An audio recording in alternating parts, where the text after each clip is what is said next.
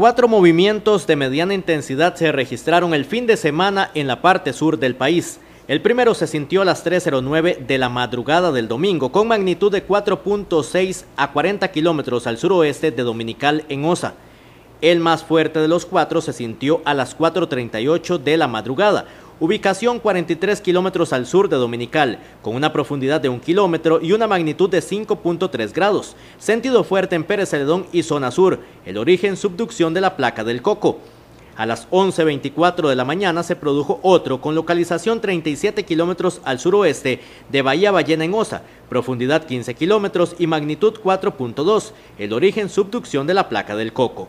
A las 11.59 hubo un cuarto movimiento, localizado a 31 kilómetros al suroeste de Bahía Ballena, con una profundidad de 21 kilómetros y magnitud de 4.1, también por subducción de la placa del Coco. En ninguno de estos casos se dieron afectaciones.